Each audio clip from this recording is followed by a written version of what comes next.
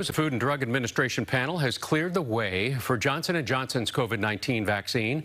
California is anticipating delivery of more than 380,000 doses of the new vaccine next week and more than 1 million of the single-dose shots over the next three weeks.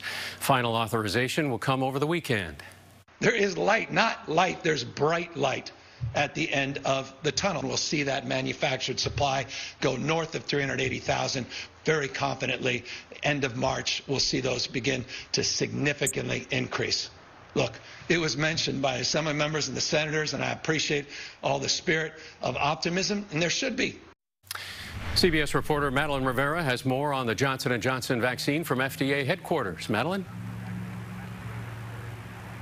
Good evening, Alan. Well, Johnson & Johnson cleared a significant hurdle today with the FDA Advisory Committee voting unanimously to approve its COVID-19 vaccine. And if the FDA clears it for use, it will come at a time when the country is looking to boost its COVID-19 vaccine supply majority voted yes. We do have a favorable vote. The U.S. is poised to get its third COVID 19 vaccine after an independent FDA advisory committee voted to greenlight Johnson & Johnson's coronavirus vaccine. That paves the way for the FDA to grant emergency use authorization. There is a shortage of vaccines um, that are currently authorized, and I think authorization of this vaccine will help uh, meet the needs at the moment. The FDA confirms that J&J's vaccine is slightly less effective than the Moderna and Pfizer shots overall, but showed 85% efficacy against severe illness and complete protection against COVID-19 deaths 28 days after getting the shot.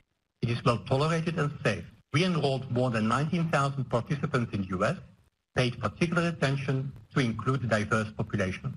It also has advantages the Moderna and Pfizer vaccines do not. It can be stored at normal refrigeration temperatures and requires only one dose. It can lead to the ability to reach both individual and herd immunity more quickly.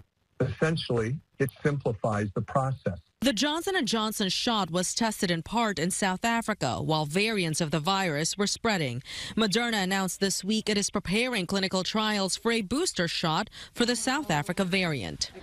FDA authorization of the Johnson & Johnson vaccine could come as early as this weekend. If that happens, the vaccine could be headed to states next week. Johnson & Johnson says it expects to provide 20 million doses by the end of March. According to documents obtained by CBS News, the CDC expects the vaccine will be recommended for use on Sunday. Live in Silver Spring, Maryland, Madeline Rivera. Alan, back to you. All right, Madeline, thanks so much. We appreciate.